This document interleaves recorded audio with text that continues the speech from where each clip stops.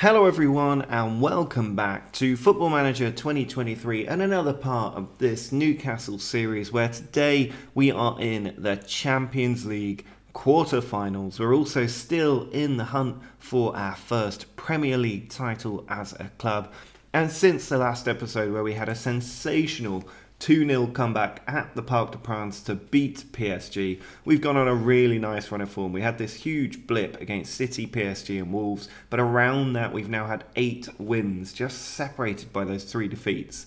Uh, and you can see we beat West Ham 3 0. Saint-Maximin has been really hot lately, and he got a brace in that game with Brahim Diaz getting one as well. The next game, Donyell Malen got a brace with Joe Willock in support, and then we tore apart Manchester United 5 1. Isak Gallagher, and Bruno Guimaraes made it 3 0. Jadon Sancho got a bit of a fluky goal. It was looped from the corner of the penalty area over the keeper and in. Uh, and then Saint-Maximin got another goal. Donyell Malen with another goal as well. Both of them in very good form. And it's helpful as well because we've just crushed Man United at home and they are our Champions League opponents in the quarterfinal. In between, we also have a huge match away against Chelsea. I might throw show all three games today so you can see a tight Premier League title race as well. At the moment, we are one point behind Liverpool, Man City four points behind us, and surprisingly, Wolves uh, eight points off the lead. I mean, they can't win the title that far back, haven't played a game more, but they're in a very dangerous position. Unfortunately, we also have Isak back fit. He does have 36 goals this season, so while I say he's not been at his best, he's still been pretty prolific this season. And he'll be joined by Saint-Maximin and Maddison on the wings, Camavinga, Gallagher, and Timber in midfield with Gvardiol, Schlotterbeck, Garcia, Justin, and Lafont, the defensive unit. And as we get into this game, the Manchester United team, uh, very similar actually to the one we beat 5 1 in the last game. That's reassuring. They had Sancho, Zaniolo, Rashford all in there, Asensio was in there. So I don't think this team has changed particularly much. So let's. Uh, let's see. Old Trafford this time, not St James's Park. It's a very different proposition. Uh, but we've got a chance here with Isak over to Gvardiol. He's lost out to Milinkovic Savic, but Gvardiol gets there again. Now Gvardiol trying to come forward once more. That might not be Milinkovic Savic, that might just be Milinkovic. Uh, Asensio on the right loses out to Timber. Now Saint-Maximin in, too far. Maddison cleans it up. It's towards Gallagher onto Isak. and he has put us in front. Two minutes into this game. Manchester United not doing as strongly as they have in previous seasons may well be vulnerable uh, with us attacking them as strongly as we have, but we're in a real run of form. Our game against West Ham and again against Nottingham Forest, both of those teams failed to get a shot on target against us. We're in a real good form since that PSG turnaround. It really seems to have buoyed the team. And as it stands, we are 1 0 up away from home in the Champions League quarterfinals. I thought we were dead and gone when we lost that first leg against PSG. We looked so overmatched. I have no idea how the players pulled that one out. Uh, and yet here we are still dominating Man United. They're edging possession, but we are creating all of the good chances. We're having all of the shots as well. Sancho's picked up a knock. They've got players on yellow cards. And Maddison is robbing Luke Shaw back there. Eriksen to Rashford, and again we steal the ball. Saint-Maximin's up there, it comes out, Gvardiol steals it. Now Eric Garcia, back to Schlotterbeck. Camavinga to Gvardiol, Saint-Maximin with him, who's in very good form. And Gvardiol tries to put it in, but it is cut out by Milenkovic. All the way back to the keeper, now Luke Shaw.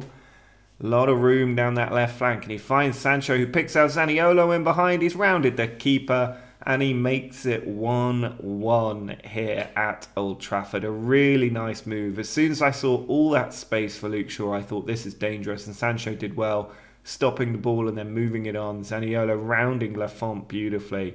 Nearly overran it, but just had the angle there to score into an empty net and make it 1 all as we approach half time in this Champions League quarter final first leg. I'm not happy that we failed to maintain the lead so close to half time. But I am happy that we are dominating this game. Uh, at least in terms of chances created. Although it has been a while since we created one. But here's Isak running into the box. He's got players arriving as he's dispossessed, and now Sancho trying to get in behind for Zaniolo again, and Rashford is there, and it is 2-1 now to Manchester United, and things looking very tricky once more. We do seem to enjoy losing first legs of games, but. Uh, let's have a look at what we can do here. Can we bring anybody on? Yet again, we've been exposed down the wings with players. Uh,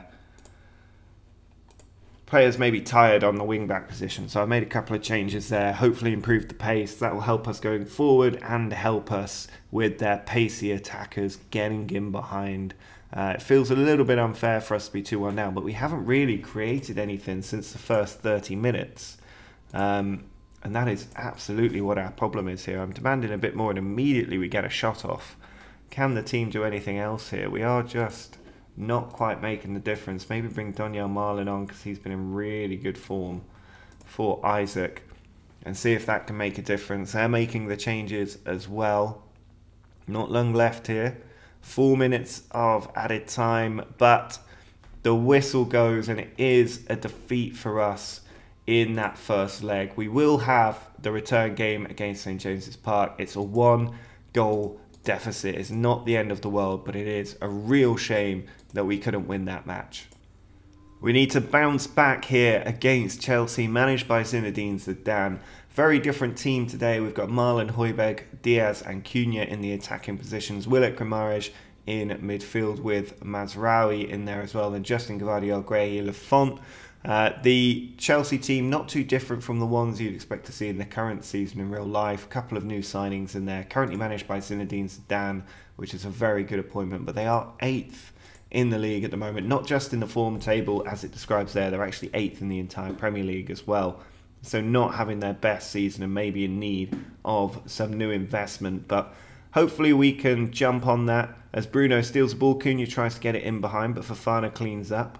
Kante out to Cucurella. Willock can't get there. And Tete has got in behind already here. Lafont with a good stop. It was straight down the middle, fortunately. Uh, but an early warning for us there. Players do seem to be getting in behind. And here's Tete again trying to do that, but Sterling's header. I don't know how he's out jumping. He looks a good foot taller than him there.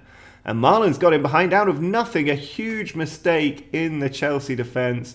And Donyell Malen, who has such a high work rate, one of the main reasons I signed him uh, was that ability to just chase people down and win tackles, a bit like Isak. A massive mix-up for Fana and Sutalo just stood there as that ball bounced behind them, both expecting the other to clean it up. And it allowed Donyell Malen to run in there and chip it over Mendy for 1-0. And it's another early goal for us. We're really waking up and starting early in these games. Despite having a couple of chances go against us already in this match, we do have the lead. And there could be another chance here. Boys seem to have the wind in their sails as they play through Malen again. He's getting into the byline. It comes back to Cunha. Fofana cleans it up and they push the ball forward, but we win it with the defensive header. Now Højbjerg to Justin, puts it across, and Malen is there again. And we are 2 0 up inside five minutes in this game. Beautiful stuff by the team, really bouncing back. I mean, we were in such good form going into that United game. It was a real shock that we lost it after taking the lead.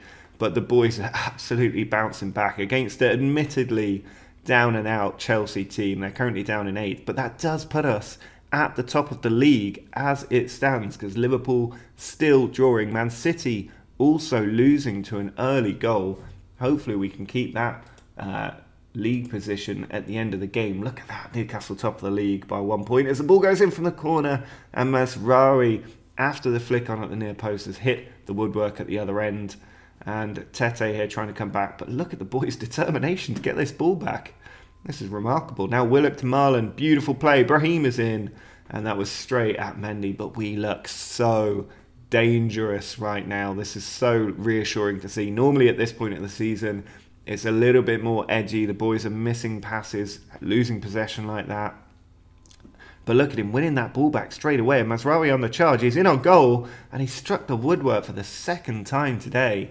I think we do still need another goal to see this one out, but Liverpool have just scored through Mo Salah and Malen has won the ball again. I don't know what is going on with these players, but here's Malen again in and Mendy, the only thing keeping Chelsea in it right now. Uh, if you can say 2 0 is still in it. Here's Brahim with a corner cleared away. And it stays 2 0 for now. Hopefully, Brentford can get a goal against Liverpool. Cunha in behind. Willock is there. Pulls it back to Højbjerg.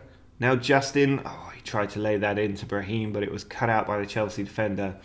And this feels like a siege at this point. Chelsea absolutely backs to the wall. Feels like Chelsea in real life. Tete here puts it in. And was that an own goal? That's gone in as a Sterling goal. I didn't see Sterling behind Lukaku. Let's see if this is an actual goal here. And it is disallowed. Something did look strange about that goal when it happened, but now we're on the attack. Justin loses it to Tete.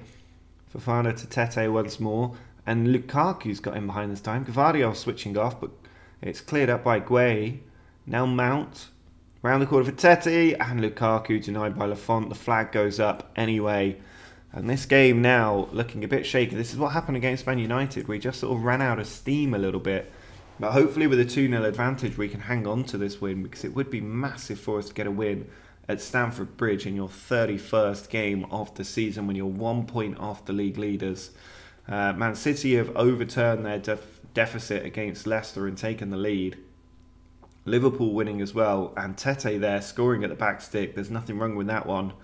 That was definitely a ball played backwards, but that was again the defence just completely switching off. Gonzalez there just rolled Mazraoui, and look at that ball across. Justin switched off at the far side. And to me, that's a sign we need to refresh these wing backs a little bit, bring Ryan Sessegnon on, maybe add a bit more attacking intent with James Maddison fresh, and get rid of those extra yellow cards on the pitch. But at the moment, we are not doing well. Gvardiol just struggling for fitness, so we'll swap him off as well. And then we might want to look at Bruno Guimaraes next. As time is just running down a little bit here. I might leave Bruno for now. Cucurella on the attack for Chelsea. Pulls it back. Now Kovacic. Or Kovacic. Straight at Lafont with that effort. That was a really dangerous chance for Chelsea. I think I'm going to have to demand a bit more from the players because this is not good enough at the end of this game. They've not reacted well to that either as Liverpool go 2 0 up. Here's Sessegnon. Malen can't win the header, and now Sterling to Gonzalez. In behind for Tete. He's got the run on the defence. Timber gets across well, and now Guehi can try to clean up. We're going on the attack ourselves. It's James Maddison who's fresh. I don't know who that ball was to, but it didn't go right, right the way he expected. Now Kovacic in behind, but Timber intercepts. Højbjerg, that's the pass, fast passing play we like. And Maddison's in on goal. He's got across to Cunha and he has missed a admittedly difficult open goal opportunity, but that really should have gone in the back of the net. And as it stands, this game on a knife edge as Cucurella cleans up the ball. Guehi can't deal with it. Timber has it, sends it forward to Cunha on a yellow card. Højbjerg is there as well. It's gone to Malen Gallagher. It's that fast passing play unlocking the Chelsea defence. And there's Cunha in on goal. And he has blasted it so high over the bar. It's basically gone out of the stadium. It doesn't look like it matters. We have won this game, but it was so much more tense than it should have been. We should have been 4 5 0 up at half time. And instead, we finished 2 1 at risk of losing the game. Malen, with goals in the fourth and fifth minute, did the work for us. But that was much closer than it should have been. Uh, and I'm not happy with that. But it looks like Chelsea are going to struggle to make Europe next season. Man United going to struggle to make Europe next season. But Liverpool maintain their one point advantage at the top of the Premier League as we go into this return leg against Manchester United, desperate for a good victory. Again, a few changes for this match against Manchester United. We have to make quite a few, and getting the strongest possible team that we can. Manchester United making sweeping changes, nine changes to their starting lineup as well, as they clearly bring in their strongest team. They might be a bit fresher for this one, but we are playing Malen this time on the wing. He's too dangerous at the moment to not be in the team, but we also need Isak's attacking intent up there. Saint-Maximin's been in good form as well. Then Camavinga and Gallagher supported by Timber in defensive midfield. Then Niakhaté, Schlotterbeck Garcia and Justin in defence with Lafont in goal. We do owe Manchester United. We beat them 5 1 here at St James's Park in the league not long ago.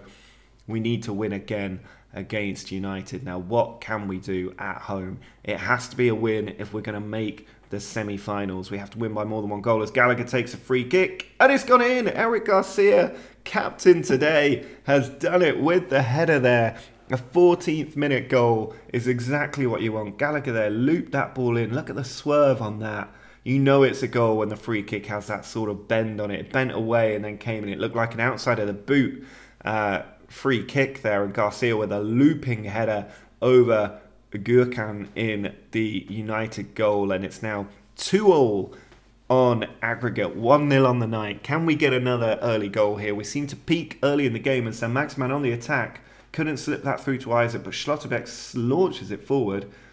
And United do deal with it. As steals it now. Isak to Camavinga. He's in a goal. And he has made it 2 0. Camavinga with the finish as we go 2 0 up against United.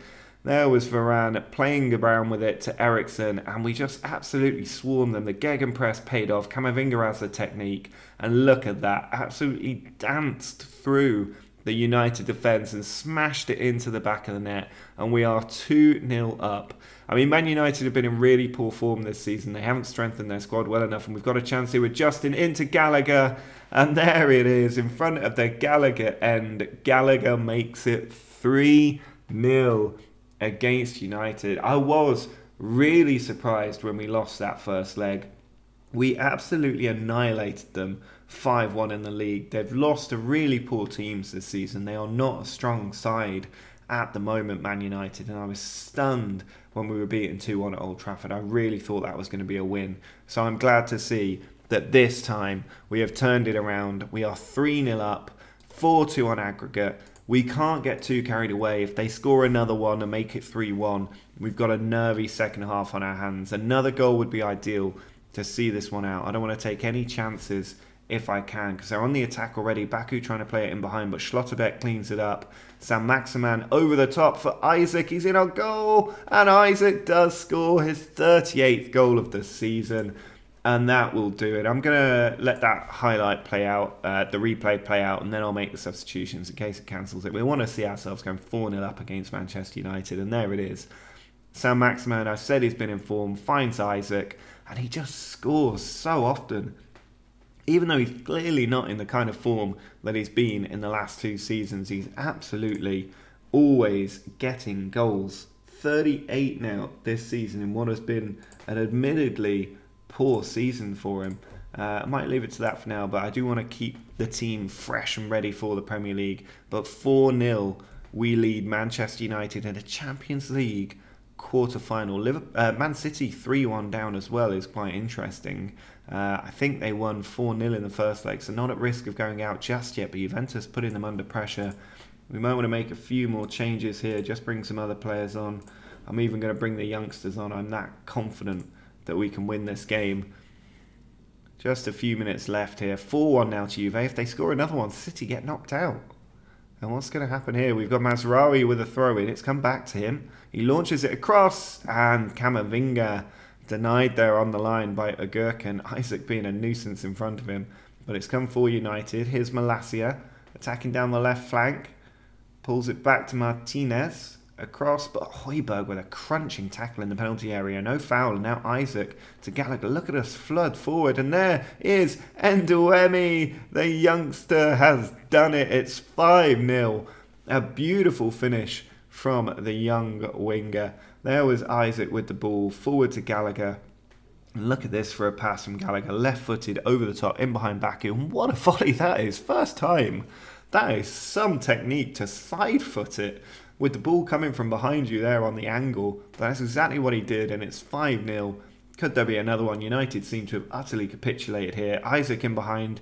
Ndombele couldn't get onto it. They've sent it forward. I want the clean sheet now as well. Maddison in towards Isak. There's a foul in there. Gallagher doesn't care. He lashes it into the back of the net. And it is 6 0 against Manchester United. This is exactly what I wanted to see today. Never in doubt. Imagine the scenes on Tyneside tonight after this victory. I mean, look at that. Gurka just fell over as Gallagher lashed it past. It was almost like he was afraid to touch it in case he lost a head. And there it is 6 0 a crushing and devastating victory over Manchester United. Man City just eke through their first leg advantage, getting them over the line, but we have destroyed Manchester United there, and we are into the semi finals. And it will be Manchester City that we play next. After beating United, we take on the other side of Manchester in our next game. Uh, before that, we do have a few Premier League games to go. So we've got Burnley, Arsenal, and Villa still to play. And next episode, we will do the Champions League semi finals against Manchester City. But if you have enjoyed this episode, do drop a like down below. Make sure to subscribe to the channel if you're new. But until next time, see ya.